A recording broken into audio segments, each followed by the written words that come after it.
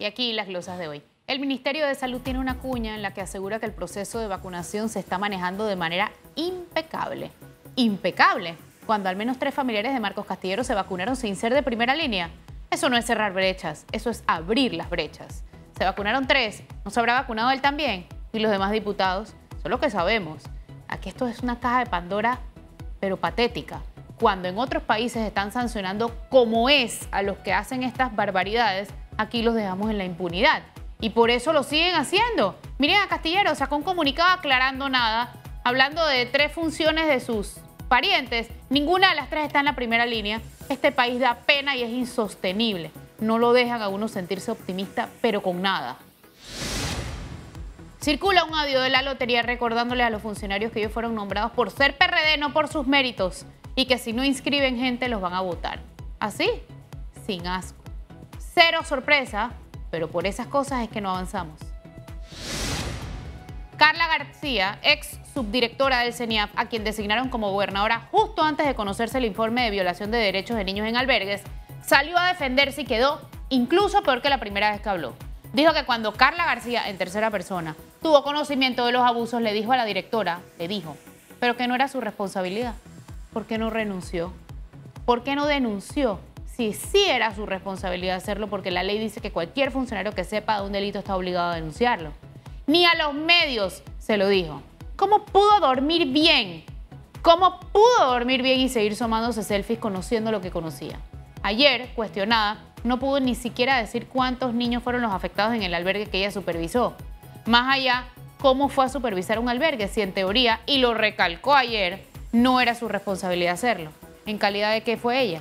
Las contradicciones la hunden todavía más que el silencio. Y Dalia Martínez sigue alborotada. Ahora dice que no le dieron derecho a réplica por las declaraciones de Luis Ernesto Carles. Ella estaba invitada. Lo que pasa es que ella quiere elegir dónde se le da el derecho a réplica y además condicionar la entrevista a no recibir preguntas. Explíquenme eso. Ahora anda diciendo que si sufre algún atentado contra su vida o su familia, hace responsable al gobierno, a Carles y a medio Panamá. Y que va a ir al defensor del pueblo a denunciar la violación de sus derechos. Que vaya donde le provoque y diga lo que quiera. Eso no nos hará olvidar lo mucho que tiene que explicar ella de su gestión. Empezando con por qué ignoró un fallo del juzgado de niñez y adolescencia que le ordenaba restituir al hogar de acogida a una niña que llevaba ahí cuatro años y que ella decidió llevarse un albergue. Siguiendo con por qué ignoró el informe de la comisión que se nombró en su gestión para investigar el tema de los albergues. Y terminando con por qué no le dio seguimiento a la aplicación del protocolo de manejo de albergues que se hizo en el 2012 con financiamiento, y auspicio de UNICEF sin duda, otro de los nombramientos mega irresponsables de Juan Carlos Varela. El tema ayer, increíblemente, siguió siendo la entrada de Judy Medana a la alcaldía. Y digo increíblemente porque con todos los problemas que tenemos en este país, como los albergues, el informe que sigue sin publicar Aguilar, como el Seguro Social, el diálogo que no arranca, el CROAN, las compras que siguen sin divulgarnos, me parece inaudito que el tema sea antirajala municipal. Además de que Medana legalmente no tiene funciones y sigue sin aclarar por qué se hizo la desentendida si ella había puesto su cargo a disposición 18 días antes de lo anunciado. ¿A qué juega? Este rejuego de la Alianza Morirena-PRD, que solo beneficia a ellos, no a ningún otro ciudadano, la incluye a ella. Si ella quería meterse al lodo, se iba a ensuciar. Demasiado está tratando de hacerse ver como la única puritana del paseo, diciendo que la humillaron, que está sola, que esto es violencia política de género. Oye, esto es simplemente política, sucia, como es la política. Eso es todo. Y ya lo dijo Fanovich, que Meana debería entrar porque la ciudadanía no quiere a Fábrega. ¿Eso qué significa? Que el Molirena promovería un proceso de revocatoria de mandato. Por sus intereses personales estarían dispuestos entonces a revolver todavía más esto, para tenerlo en cuenta. Otra cosa que me ha llamado la atención sobre la peleita de Fábrega con Judy es Blandón. Como si le hubieran dado pastillitas estimulantes para tuitear, diciendo que en su gobierno nunca perdieron tiempo en intrigas palaciegas ni en chiqui shows. Hoy exalcalde ya se le olvidaron sus diferencias con Raiza Banfield, sobre todo cuando ella recogió firmas para ser alcaldesa por la Libre. Que no hayan sido diferencias tan públicas no significa que no las hubiera habido. Saludos. Y siguiendo con la alcaldía, la ciudadanía va a tener que activarse otra vez. Ya no solamente es el mercado del marisco que quiere hacer fábrica al lado de que ya existe. Ahora es el plan de ordenamiento territorial que está trabajando CAPAC con el municipio sin consultar a la ciudadanía. O sea, eso es ser juez y parte el gremio que agrupa a los responsables del desorden urbano que tenemos, reorganizando el plan de ordenamiento con las autoridades. ¿Qué están buscando? ¿Mejorar ellos sus prácticas o ver cómo ganan más con la anuencia de las autoridades? Es increíble cómo este alcalde está dañándolo todo, pero todo. Yo de verdad esperaba que en la conferencia de prensa ayer recapacitaran y nos liberaran los fines de semana. Tenía esperanzas. ¿Por qué? Porque los números lo justificaban y el clima también. Pero no, siguen tomando las decisiones a la bulla de los cocos con cero sustento científico.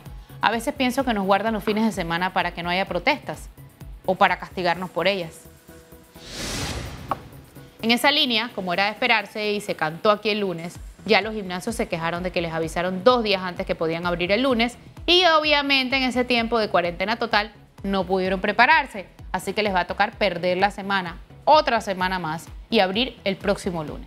¿Por qué? Por la chambonada del MINSA.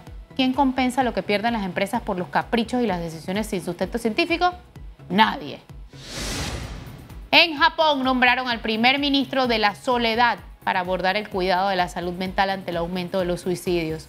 No voy a pedir un ministerio porque se inventan uno solamente para meter copartidarios y botellas. Pero aquí tenemos serios problemas de salud mental y no tenemos ni siquiera una ley de salud mental. Y eso es una verdadera tristeza. Eira Ruiz dijo que ya había un cronograma de Pfizer para después de marzo. Cuando se le pidió el cronograma natural, dijo que es que no, que mm, que A, que B, que C, que eso todavía se estaba haciendo. Porque claro, ante cualquier atisbo de transparencia hay que echarse para atrás. Ojalá así recularan cuando se asoma la corrupción.